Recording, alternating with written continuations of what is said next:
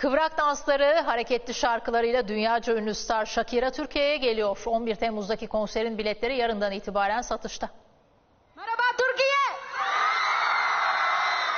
O merhabanın üstünden tam 11 yıl geçti. Kolombiyalı şarkıcı uzun bir aradan sonra yeniden Türkiye'ye gelecek. Dünyaca ünlü star Shakira 3 Haziran'da Eldorado isimli dünya turnesine başlayacak. Turne kapsamındaki duraklarından biri de Türkiye. I'm really happy to be here.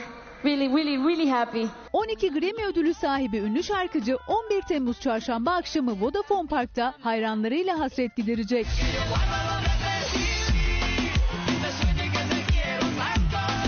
...22 Mayıs'tan itibaren satışa çıkan konser biletlerinin fiyatı ise 162 liradan başlıyor.